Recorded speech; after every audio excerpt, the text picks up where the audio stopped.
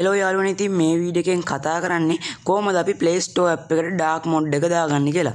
ඉතින් අපි වීඩියෝ එකට ගිහලා බලමු කොහොමද මේ dark mode එක දාගන්නේ කියලා. ඉතින් වීඩියෝ එකට යන්න කලින් පොඩි ඉල්ලීමක් කරනවා තාමත් ඔයා මගේ YouTube channel එක subscribe නොකරපු යාළුවෙක් නම් වීඩියෝ එකට පහළ තියෙන රතු පාට subscribe button එක ඔබලා ඊට එහා පැත්තෙන් මතුවෙන bell icon එක all කරගන්න. එතකොට තමයි ඔයාලට මගේ channel එකෙන් ගෙන අලුත් වීඩියෝස් නැරඹීමේ හැකියාව තියෙන්නේ. එහෙනම් අපි ගිහිල්ලා බලමු කොහොමද මේ විදිහට Play Store app එක dark mode දාගන්නේ කියලා. ඉතින් ඔයාලට පුළුවන් ඔයාගේ Play Store app එක ඕපන් කරගන්න.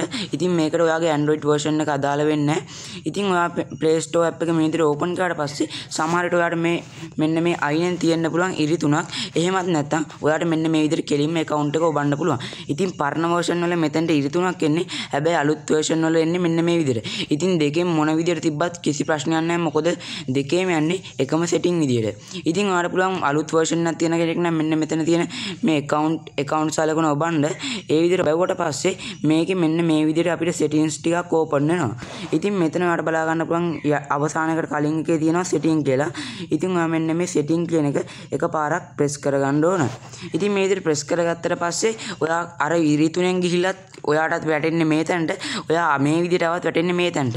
ඉතින් ඔයාට මෙතනින් මේ උඩින්ම පේනවා general කියලා එකක් තියෙනවා. ඉතින් මේ general වලින් තමයි අපි මේක හදන්න යන්නේ.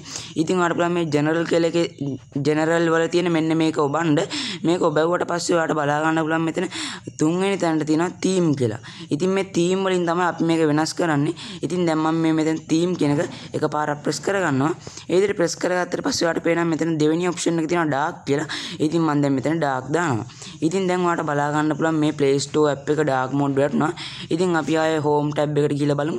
ඉතින් ඔයාලට බලා ගන්න පුළුවන් හැම එකක්ම මේක dark mode වැටලා තියෙන්නේ. ඉතින් මම දැන් Play Store එකෙන් අයින් වෙලා ආයෙ පාරක් ඇවිල්ලා පෙන්නන්නම් ඔයාලට.